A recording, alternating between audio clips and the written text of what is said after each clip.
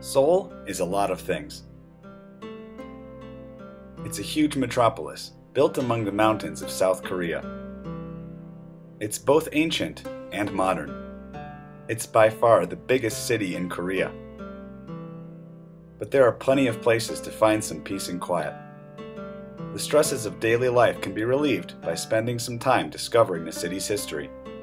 Visit one of the city's ancient royal palaces, such as Gyeongbokgung, for a dose of Korean history and culture. Stroll through Gwanghwamun Plaza, where local kids love splashing in the fountain.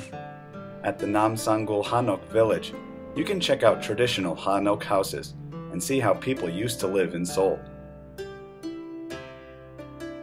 Off in the distance, you'll see the N Seoul Tower.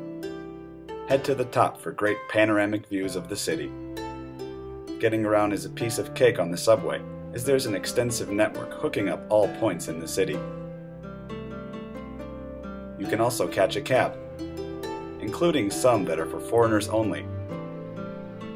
Seoul, being a hip, fashionable city, has many options for shopping. Head to the Insadong Shopping Center, home to many shops and galleries. You may see some familiar faces here. This area is popular with locals and tourists, so it's bustling any day of the week. While you're at it, you might as well check out Namdaemun Market. You can find everything you want.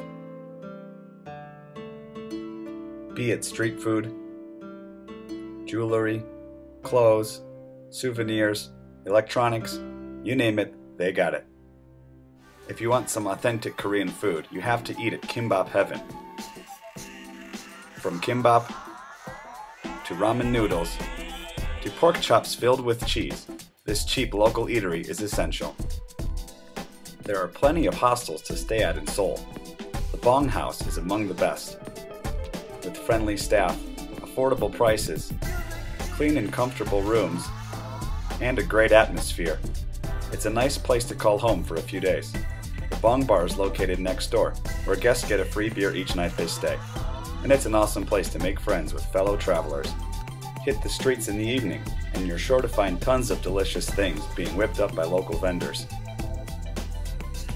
Grab a snack and head out in search of one particular hole in the wall restaurant. We're in a small hole in the wall restaurant that we found thanks to some helpful Koreans here. For some kimchi jjigae, kimchi stew, and a variety of side dishes here.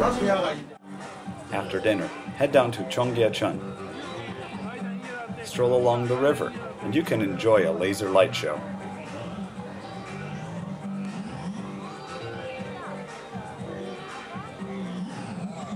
You'll also see the digital canvas, a trippy display of lights and sound.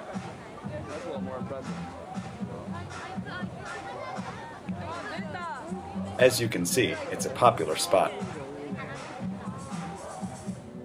In the University District of Hongdae, you can enjoy Seoul's vibrant nightlife and see plenty of street performers.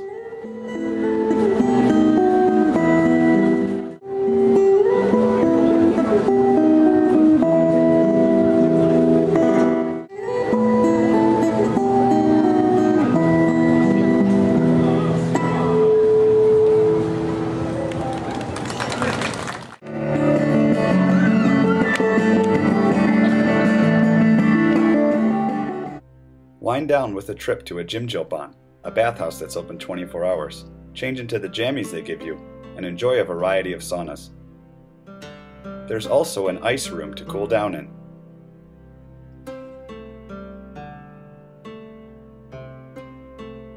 And plenty of hot tubs, so kick back and relax.